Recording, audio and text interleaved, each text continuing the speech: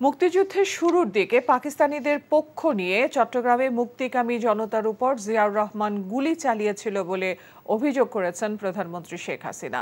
বুধবার সকালে রাজধানীর তেজগাঁওয়ে আওয়ামী লীগ আয়োজিত স্বাধীনতা দিবসের আলোচনায় তিনি বলেন, সবচেয়ে বেশি মুক্তিযোদ্ধাকে জীবন দিতে হয়েছে জিয়াউর রহমানের দায়িত্বে থাকা সেক্টরে।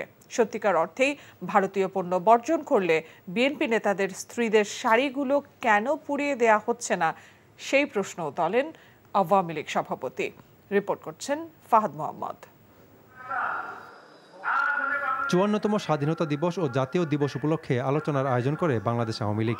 রাজধানীর তেজগাঁওয়ে ঢাকা জেলা কার্যালয়ে এই অনুষ্ঠানে যোগ দেন আওয়ামী লীগ সভাপতি ও প্রধানমন্ত্রী শেখ হাসিনা। সভাপতির বক্তব্যে বিএনপি নেতাদের সমালোচনা করে শেখ হাসিনা পাল্টা প্রশ্ন করে বলেন আওয়ামী লীগের নেতারা যদি পালিয়ে যায় তাহলে যুদ্ধটা করেছিল কে? সরকার গঠন ও সেক্টর গঠন করে দায়িত্ব দিয়েছিল কে? যে দেশ স্বাধীন করার জন্য আওয়ামী লীগ সেই জন্মলগ্ন প্রতিষ্ঠা লগ্ন থেকে এদেশের মানুষের মুক্তির জন্য সংগ্রাম করেছে। সেই দল ক্ষমতায় থাকলেই যে মানুষের ভাগ্য পরিবর্তন হয়, আজকে তো তা প্রমাণিত সত্য। কিন্তু যখন এই ক্ষমতা দখলকারীরা, অর্থাৎ ওই যে রেডিও টেলিভিশনে ঘোষণা দিয়ে আমি রাষ্ট্রপতি হলাম, সেই হলাম পার্টির যখন ক্ষমতায় ছিল এদেশের মানুষের ভাগ্য কি ছিল? ক্ষুধা দারিদ্র অশিক্ষা, চিকিৎসার ব্যবস্থা নেই, শিক্ষা প্রতিষ্ঠানগুলিতে অস্ত্রের ঝঞ্ঝানি সেশন জট। এই তো অবস্থাটা ছিল। আজকে যারা প্রশ্ন করেন যে আওয়ামী লীগ কোথায় ছিল, আমি জিজ্ঞেস আপনারা কোথায় ছিলেন? প্রধানমন্ত্রী বলেন, যখন বাংলাদেশের মুক্তিযুদ্ধ শুরু হয়েছিল, তখন পাকিস্তানিদের পক্ষে চট্টগ্রামে মুক্তিকামী জনতার উপর গুলি চালিয়েছিল জিয়াউর রহমান। তার দায়িত্বে থাকা সেক্টরে বেশি মুক্তিযোদ্ধা এবং মুক্তিকামী বাঙালিকে জীবন দিতে হয়েছে বলে উল্লেখ করেন শেখ হাসিনা। পাকিস্তান হানাদার বাহিনী পঁচিশে মার্চের যে আক্রমণটা বাঙালির উপরে চালায় সেই আক্রমণকারী একজন কিন্তু জিয়াউর রহমানও। সেটা হলো চট্টগ্রামে। এটাও ভুললে চলবে না। জন্য সেক্টরে তো পাকিস্তানি হানাদার বাহিনীকে হত্যা করা হয়েছে। আমাদের মুক্তিযোদ্ধারা এতটা জীবন দেয় নাই। কিন্তু জিয়ার ওখানে কেন বেশি মারা গেল? তার মানে জিয়া নিজে কোনোদিন যুদ্ধ করে চালনাই করেনি। যুদ্ধে যেখানে যুদ্ধ হতো তাতে তিন মাইল দূরে যে তা সে একটা নিজেকে মানে অন্তত নিরাপদ জায়গায় নিয়ে রেখে দিত। যার জন্য সেখানে মুক্তিযোদ্ধারা সব থেকে বেশি আত্মাহুতি দিতে বাধ্য হয়েছে। এবং তার নেতৃত্বের অভাবেই এত বেশি ক্যাজুয়াল হয়েছে। ভারতীয় পণ্য বর্জনে বিএনপির আন্দোলনে কঠোর সমালোচনা করে শেখ হাসিনা বলেন দলটির নেতারা ঘরে বাইরে সত্যিকারের ভারতীয় পণ্য বর্জন করছে কিনা তা জানতে হবে। যে নেতারা এখন বলছেন ভারতীয় পণ্য বর্জন করেন। তাদের বউদের কয়খানা ভারতীয় শাড়ি আছে? তাহলে বউদের কাছ থেকে সেই শাড়িগুলি এনে কেন পুড়িয়ে দিচ্ছে না? আপনারা সবাই একটু এই কথাটা বিএনপি নেতাদের জিজ্ঞাসা করেন। আওয়ামী লীগ সরকার ক্ষমতায় থাকলে দেশের মানুষের ভাগ্যের উন্নয়ন হয় বলে উল্লেখ করেন শেখ হাসিনা। তাই দলীয় নেতাকর্মীদের সাধারণ মানুষের পাশে থাকারও নির্দেশ দেন প্রধানমন্ত্রী। বাংলাদেশের প্রতিটি মানুষের জীবন মান উন্নত করে। Fahad Mohammad NTV news Dhaka. এই ঈদে দেশ জুড়ে কেনাকাটার ফুর্তি হবে শুধু বিকাশে। সাথে discount coupon instant cashback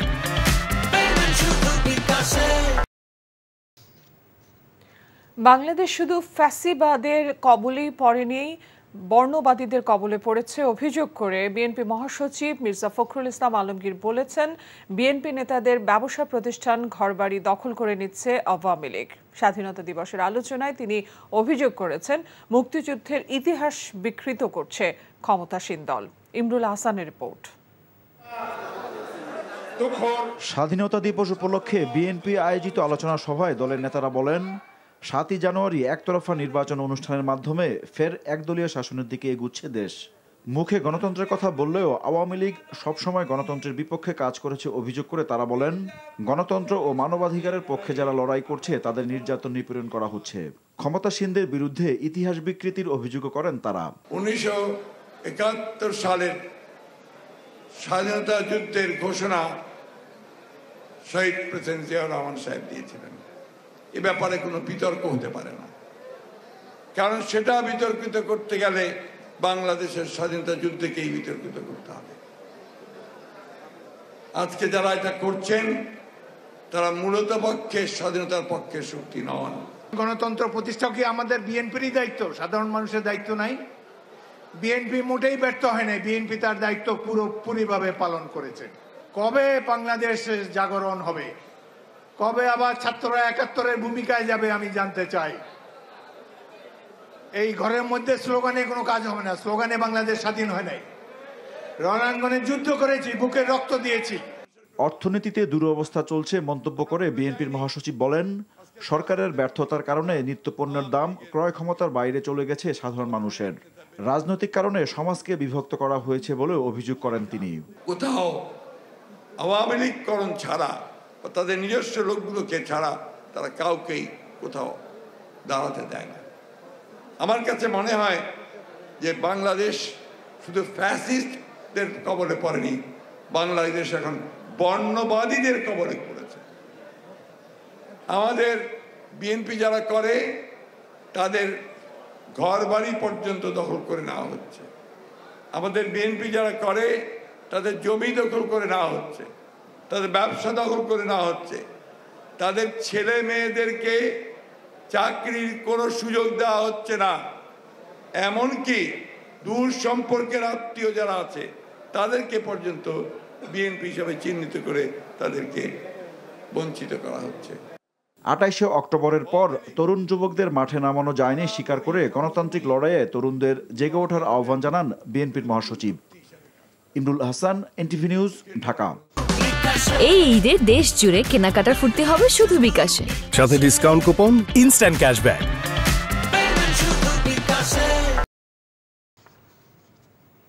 BNP chairperson Begum Khaleda জিয়াকে আপাতত বাসায় রেখে পর্যবেক্ষণের সিদ্ধান্ত নিয়েছে তার চিকিৎসায় নিয়োজিত মেডিকেল বোর্ডের সদস্যরা। বুধবার বিকেলে হঠাৎ অসুস্থ বোধ করলে বেগম জিয়ার চিকিৎসায় নিয়োজিত বিশেষজ্ঞ ডাক্তারদের তার গুলশানের বাসভবন ফিরোজায় ডেকে আনা হয়। বুধবার রাতে বিএনপি চেয়ারপারসনের বেশ কিছু শারীরিক পরীক্ষা নিরীক্ষা করেন মেডিকেল বোর্ডের চিকিৎসকরা। খালেদা জিয়ার ব্যক্তিগত চিকিৎসক doctor A Z M Zahid Hossain সাংবাদিকদের এসব কথা জানান। এদিকে বিএনপি চেয়ারপারসনের অসুস্থতার খবরে দলীয় নেতাকর্মীরা বুধবার সন্ধ্যা থেকে তার বাসভবন ফিরোজার সামনে ভিড় করতে দেখা গেছে। ডাক্তার জাহিদ বলেন, মেডিকেল বোর্ডের প্রধান অধ্যাপক ডাক্তার শাহাবুদ্দিন, অধ্যাপক ডাক্তার নুরুদ্দিন সহ অন্য সদস্যরা বিএনপি চেয়ারপারসনকে অনেকক্ষণ পর্যবেক্ষণ এবং বেশ কিছু পরীক্ষা নিরীক্ষা করে আপাতত বাসায় রেখে চিকিৎসা দেওয়ার সিদ্ধান্ত নিয়েছে। আজকে দুপুরের পর থেকে একটু অসুস্থতা বোধ করছিলেন। এবং ওনার কিছু পরীক্ষা নিরীক্ষা ইতিমধ্যেই করানো সম্ভব হয়েছে এবং সার্বিক দিক বিবেচনায় ওনারা মনে করছেন যে ওনাকে সার্বক্ষণিক পর্যবেক্ষণে রাখা প্রয়োজন।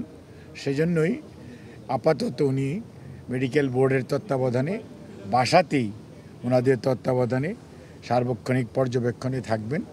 যদি কোনো কারণে প্রয়োজন হয়, তাহলে ওনাকে আবার হসপিটালে যে কোনো সময়ে হয়তো স্থানান্তর করতে হতে পারে। আগের দুই শর্ত অনুযায়ী বিএনপি চেয়ারপারসন খালেদা জিয়ার সাজার মেয়াদ আরও ছয় মাস বাড়িয়ে প্রজ্ঞাপন জারি করেছে স্বরাষ্ট্র মন্ত্রণালয়। বুধবার দুপুরে রাষ্ট্রপতির আদেশে মন্ত্রণালয় সুরক্ষা সেবা বিভাগের উপসচিব মোহাম্মদ আবু সাইদ মোল্লার সই করা এই প্রজ্ঞাপন জারি করা হয়। পঁচিশ মার্চ থেকে সাজা স্থগিত কার্যকর হবে জানিয়ে প্রজ্ঞাপনে বলা হয়, তিনি নিজ বাসায় থেকেই চিকিৎসা সেবা গ্রহণ করবেন এবং বিদেশে যেতে পারবেন না। দুর্নীতির দুই মামলায় সাজাপ্রাপ্ত খালেদা জিয়া দু হাজার আঠেরো সালের আট ফেব্রুয়ারি কারাবন্দী হন। দুই বছরের বেশি সময় তিনি কারাগারে ছিলেন। দু হাজার বিশ সালের পঁচিশ মার্চ সরকার নির্বাহী আদেশে খালেদা জিয়ার সাজা স্থগিত করে শর্ত সাপেক্ষে বাসায় থাকার অনুমতি দেয় সরকার।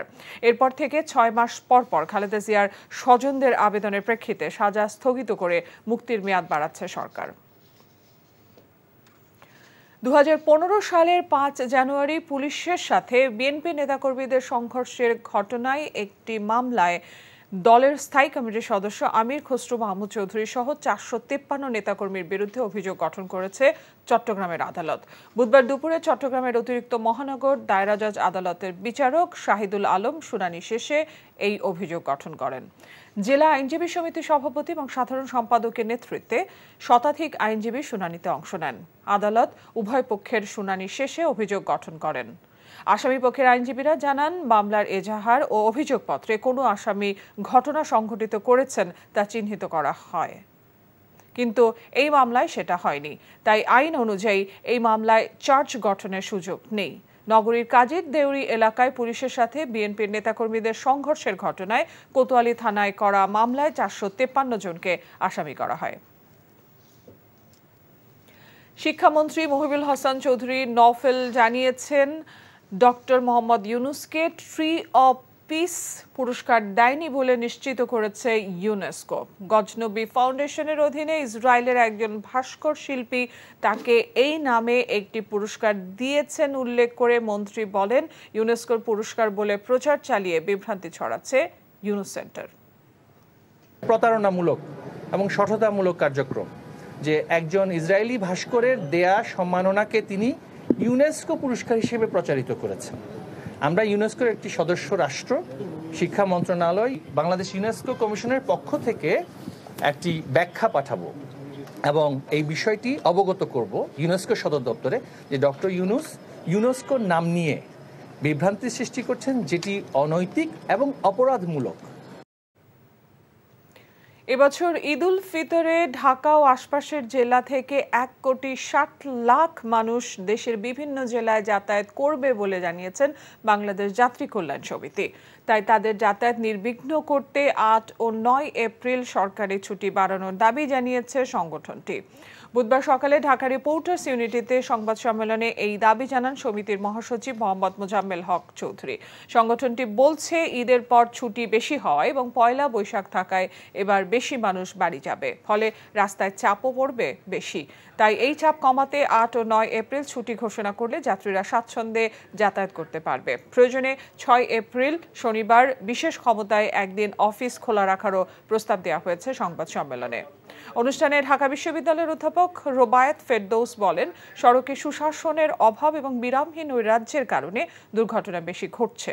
সঠিক সড়ক ব্যবস্থাপনা করতে পারলে দুর্ঘটনা হ্রাস করা সম্ভব বলেও মনে করেন তিনি।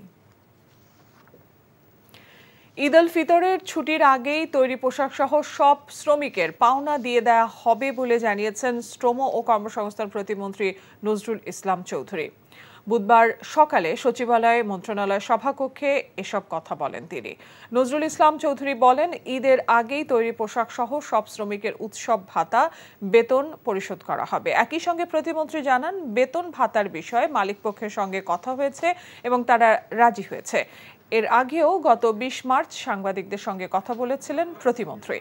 সে সময়ও তিনি বলেছিলেন, ঈদের ছুটির আগেই পোশাক শ্রমিকদের চলতি মার্চ মাসের বেতন এবং ঈদ বোনাস দেয়া হবে।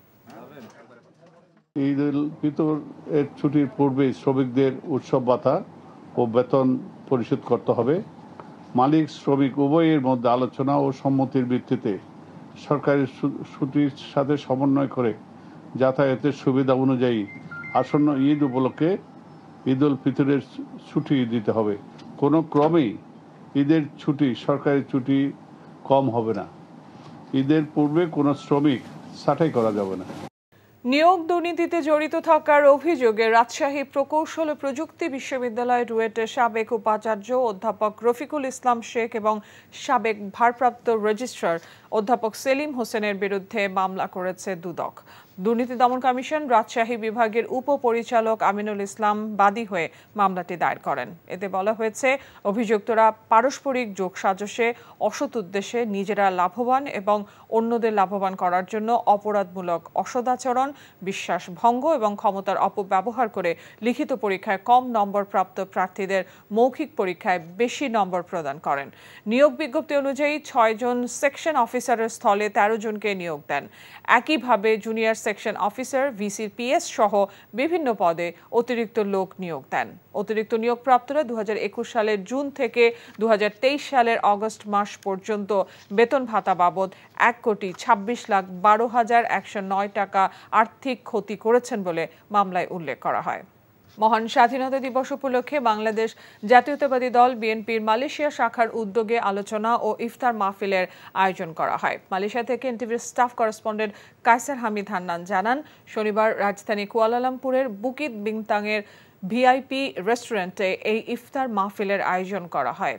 মালয়েশিয়া বিএনপি সভাপতি ইঞ্জিনিয়ার বাদলুর রহমান খানের সভাপতিত্বে সাংগঠনিক সম্পাদক মির্জা সালাউদ্দিনের অনুষ্ঠান পরিচালনায় ইফতার মাহফিলে উপস্থিত ছিলেন কেন্দ্রীয় কার্যনির্বাহী কমিটির সদস্য এবং মালয়েশিয়া বিএনপির সাধারণ সম্পাদক মোহাম্মদ মোশাররফ হোসেন, আব্দুল জলিল লিটন, ওয়ালিউল্লাহ জাহিদ ফজলুল করিম সোহরাব, আবদুল্লাহ আল মামুন লিটন, কাজী সালাউদ্দিন, আব্দুল আজিজ, আব্দুর রহিম ও মঞ্জু খা সহ মালয়েশিয়া বিএনপির অঙ্গ সংগঠনের নেতৃবৃন্দ।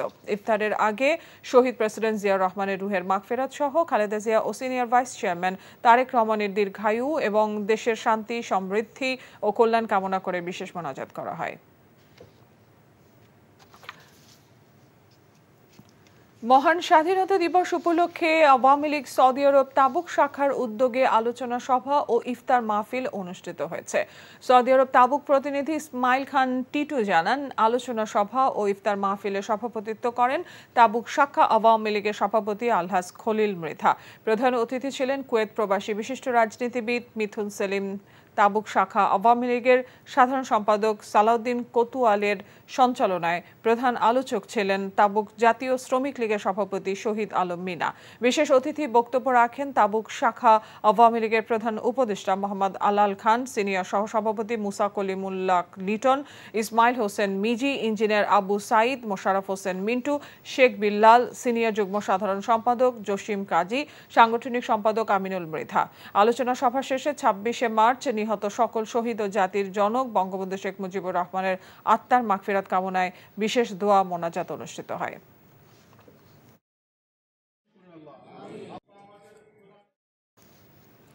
মালয়েশিয়ায় বৃহত্তর বরিশাল সমিতির ইফতার মাহফিল আয়োজনে দোয়া ও ইফতার মাহফিল অনুষ্ঠিত হয়েছে। মালয়েশিয়া থেকে এনটিভির স্টাফ করেসপন্ডেন্ট কাইসার হামিদ হান্নান জানান, রাজধানী কুয়ালালামপুরের হোটেল জি টাওয়ার বলরুমে এই ইফতার মাহফিল অনুষ্ঠিত হয়। মালয়েশিয়া বরিশাল সমিতির সভাপতি ও বিশিষ্ট ব্যবসায়ী মঞ্জু খার সভাপতিত্বে সাধারণ সম্পাদক মোহাম্মদ শাখাউত হোসেন ও প্রচার সম্পাদক মোহাম্মদ বাদল কারার অনুষ্ঠান পরিচালনায় প্রধান অতিথি হিসেবে দোয়া ও মোনাজাত পরিচালনা করেন কুমিল্লা নাগাইশ দরবার শরীফের পীর মাওলানা মোস্তাক ফয়েজি। ইফতার মাহফিলে কুরআন তেলোয়াত করেন মাওলানা হাবিবুর রহমান। বক্তব্য রাখেন উপদেষ্টা ডক্টর ফয়জুল হক, সংগঠনের সহসভাপতি মির্জা সালাউদ্দিন, সহসভাপতি আজহার, মিজানুর রহমান ব্যাপারী, রমজান আলী, জসিম সবুজ প্রমুখ। সবশেষে মুসলিম উম্মার সুখ সমৃদ্ধির উত্তরোত্তর সাফল্য কামনা করে বিশেষ মোনাজাত করা হয়। পবিত্র ওমরা পালনে আসা কুমিল্লা এক আসনের এমপি ইঞ্জিনিয়ার আব্দুস সবুরকে সংবর্ধনা ও দোয়া মাহফিলের আয়োজন করে মক্কা কুমিল্লা দাউদকান্দি প্রবাসী forum Saudi Arab. Saudi Arab থেকে মক্কা প্রতিনিধি কামাল পারভেজ অভি জানান, মক্কার স্থানীয় একটি হোটেলে ফোরামের সভাপতি শরীফুল ইসলামের সভাপতিত্বে অনুষ্ঠানে বিশেষ অতিথি হিসেবে উপস্থিত ছিলেন ইঞ্জিনিয়ার আবুল কালাম হাজারি, কুমিল্লা দাউদকান্দি প্রবাসী ফোরামের সাধারণ সম্পাদক সুমন ব্যাপারী, ইউসুফ আলী, নূর মোহাম্মদ সহ স্থানীয় প্রবাসী বাংলাদেশিরা। এর আগে ফোরামের পক্ষ থেকে সাংসদ ইঞ্জিনিয়ার আব্দুস সবুরকে ফুল দিয়ে শুভেচ্ছা জানানো হয়।